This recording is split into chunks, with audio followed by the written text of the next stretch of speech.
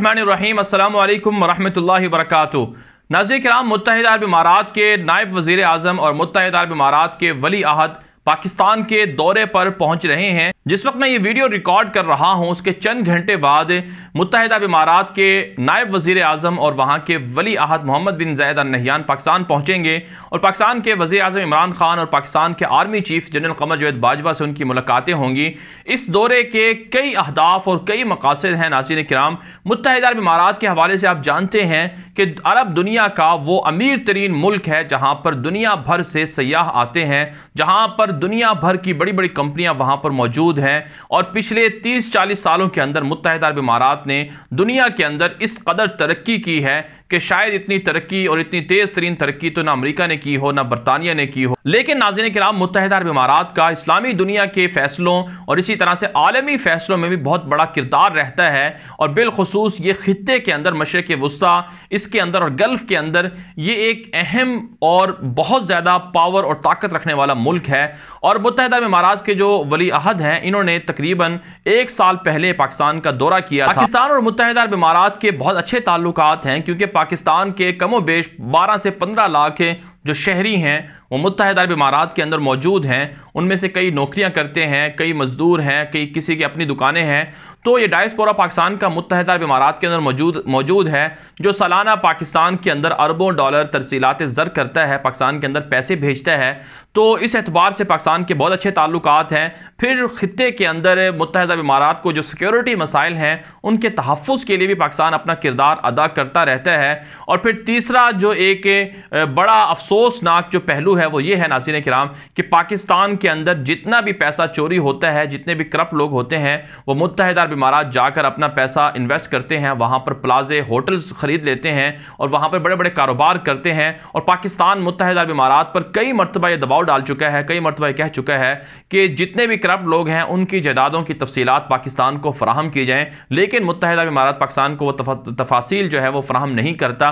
پھر اس کا ایک اور پہلو ناظرین کرام وہ یہ ہے کہ متحدہ عرب امارات کے انڈیا کے ساتھ، بھارت کے ساتھ بہت اچھے تعلقات ہیں اور تقریباً کہا جاتا ہے کہ بیس سے تیس لاکھ کے قریب انڈین متحدہ امارات کے اندر موجود ہیں اور یہ بھی کہا جاتا ہے کہ تقریباً سالانہ جو باہمی تجارت ہوتی ہے بھارت اور متحدہ امارات کی، وہ کم و بیش پچاس سے ساٹھ ارب ڈالر ہے اور بڑا ملک ہے، بڑا پارٹنر ہے متحدہ امارات کا انڈیا، جہاں کی چیزیں وہاں متحدہ متحدہ امارات میں آتی ہیں، پھر وہاں سے دیگر ممالک کے اندر ایکسپورٹ سپورٹ ہوتی ہیں۔ تو اس اعتبار سے متحدہ عرب امارات کے انڈیا کے ساتھ بہت اچھے تعلقات ہیں۔ اور یہ بھی کہا جاتا ہے، جیسا کہ آپ نے خود بھی دیکھا ہوگا ناظرین کرام، کہ متحدہ عرب امارات نے مسئلہ کشمیر پر، جب کشمیر کے اندر جو کچھ مظالم میں مودی نے روا رکھے، آرٹیکل 370 کو ختم کیا، تو متحدہ عرب امارات کے اندر او آئی سی کا اجلاس ہوا۔ اس میں پہلی مرتبہ جو او آئی سی کے اجلاس کے اندر، جو بھارت ملک بھی نہیں ہے او آئی سی کا، او آئی سی کا باقاعدہ نمائندہ بھی نہیں ہے، لیکن اس کے باوجود متحدہ عرب امارات اماراتی وہ ملک تھا۔ جس نے بھارت کی جو اس وقت کی وزیر خارجہ تھیں، ششما سراج ان کو او آئی سی کے اجلاس میں شرکت کی دعوت دی اور اس نے شرکت بھی کی۔ حالانکہ پاکستان نے اس پر بہت زیادہ احتجاج بھی کیا تھا۔ اس کے علاوہ بھی بہت زیادہ تعلقات ہیں انویسٹمنٹ ہے، متحدہ امارات کی، بھارت کے اندر۔ سعودی عرب اور متحدہ امارات تقریباً ستر سے پچہتر ارب ڈالر کے انویسٹمنٹ کا اعلان کر چکے ہیں بھارت کے اندر۔ تو یہ پہلو ہیں سارے کے سارے وہ۔ پھر ناظرین کرام، جو اس وقت خطے کے اندر صورتحال چل رہی ہے، جو منظر نامہ چل رہا ہے، وہ یہ ہے کہ متحدہ عرب امارات اور سعودی عرب کو اس قدر خطرات لاحق ہیں کہ حوثی باغیوں نے ان کے اہم ترین جو حساس مقامات ہیں، ان کو ٹارگٹ پر رکھا ہوا ہے، کسی بھی وقت وہ ان کو نشانہ بنا سکتے ہیں۔ اور متحدہ عرب امارات پاکستان سے مدد کی درخواست کر رہا ہے۔ پھر دوسری طرف سے ایران کے حملوں کا بھی خطرہ ہے۔ اور پھر تیسری طرف سے ناظرین کرام، ترکی نے بھی بہت خطرناک اپنا ویژن شروع کر رکھا ہے۔ ان کی جو پلان ہے دو ہزار تیئیس کا کہ کسی طرح سے خلافت عثمانیہ کے ماتحت جو علاقے ہیں، ان کو واپس اپنے کنٹرول میں لیا جائے۔ اردگان لیبیا کے اندر اپنی فوجیں بھیج رہا ہے اور لیبیا کے اندر متحدہ امارات اور سعودی عرب نے اسلحہ بھیجا ہوا ہے۔ اور اور لیبیا کے اندر متحدہ عرب امارات نے اور سعودی عرب نے اپنا اسلحہ بھیجا ہوا ہے، وہاں پر وہ مدد کر رہا ہے۔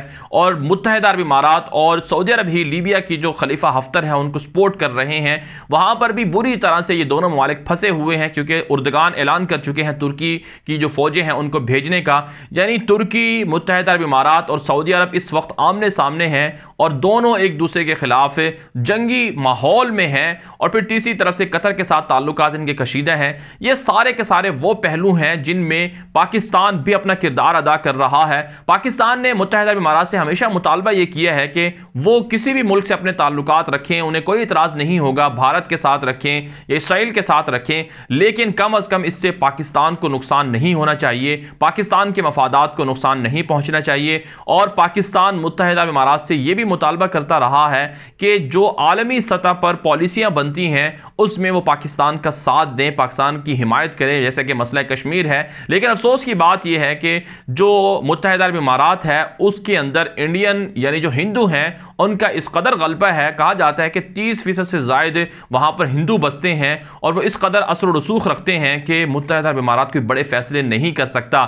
اب یہ جو دورہ سامنے آیا ہے، محمد بن زائد النہیان کا پاکستان کے اندر، اس میں انہوں نے پاکستان سے منانے کی کوشش کی ہے۔ دو تین بڑی چیزیں ہیں جو ہوئی ہیں پچھلے چند دنوں کے اندر، جس میں پاکستان متحدہ امارات سے شدید ناراض ہے۔ اس میں ایک تو جو ملیشیا کے اندر کوالالمپور سمٹ تھی، اس کے لیے پاکستان نے باقاعدہ ان سے مشورہ کیا تھا کہ پاکستان کو جانے دیا جائے، لیکن انہوں نے جانے نہ دیا۔ انہوں نے کہا کہ آپ کے ساتھ تعلقات ختم ہو جائیں گے اور اگر آپ نے اسے ملیشیا سمٹ کے اندر شرکت تو جو خبریں سامنے آتی رہی ہیں اس کے مطابق پاکستان کے جتنے شہری یا جتنے پاکستان کے اوورسیز پاکستانی متحدہ عرب امارات کے اندر موجود ہیں یا سعودی عرب کے اندر موجود ہیں، ان کو نکال دیا جائے گا۔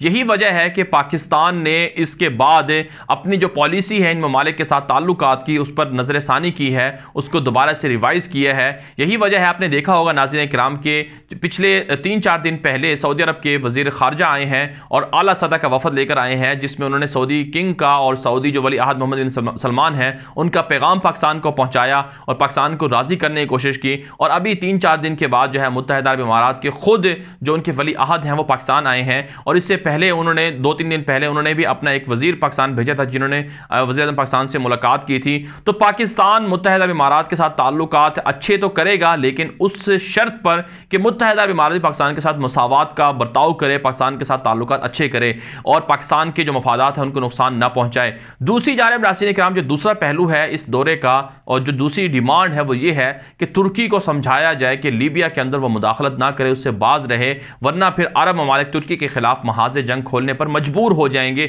لیکن پاکستان ظاہر سی بات ہے، ترکی کے ساتھ یہ باتیں نہیں کر سکتا۔ ترکی تک پیغام تو پہنچا سکتا ہے، لیکن ترکی کی اپنی سیاست ہے اور ہر ملک کی اپنی سیاست ہوتی ہے۔ وہ اپنے سیاست کو سامنے رکھ کے تعلقات بناتا ہے۔ اور اسی طرح سے ناظرین کرام، جو تیسرا اس کا پہلو ہے، وہ یہ ہے کہ پاکستان کو راضی کرنے کی کوشش کی جا رہی ہے کہ پاکستان کو پاکستان کو انویسٹمنٹ پاکستان کے اندر متحدہ عرب امارات کرے گا اور پاکستانیوں کو مزید ویزے ملیں گے متحدہ عرب امارات کے۔ تو یہ ساری چیزیں اس دورے کے اندر ہو رہی ہیں۔ اور اس دورے کو ناظرین کرام اس لیے بھی انتہائی اہم سمجھا جا رہا ہے کیونکہ او آئی سی کا اجلاس پاکستان کے اندر بلانے کی انہوں نے، پاکستان کے اندر بلانے کے لیے انہوں نے باقاعدہ متحدہ امارات نے، سعودی عرب نے اجازت دے دی ہے اور اس کے لیے باقاعدہ پلاننگ ہو رہی ہے۔ پاکستان کا ایک ہی مطالبہ ہے متحدہ امارات سے کہ وہ کشمیر کے معاملے پر ان کو سپورٹ کرے، وہ کشمیر کے مسئلے پر ان کے ان کے ہم آواز بنے۔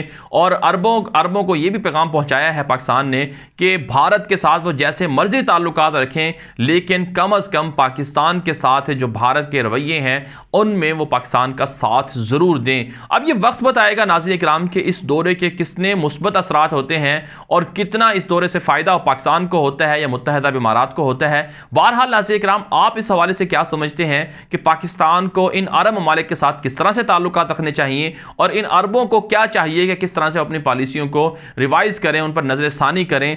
تاکہ اسلامی دنیا تقسیم نہ ہو، انتشار کا شکار نہ ہو۔ آج کے لیے اتنا ہی، اجازت دیجیے اللہ حافظ۔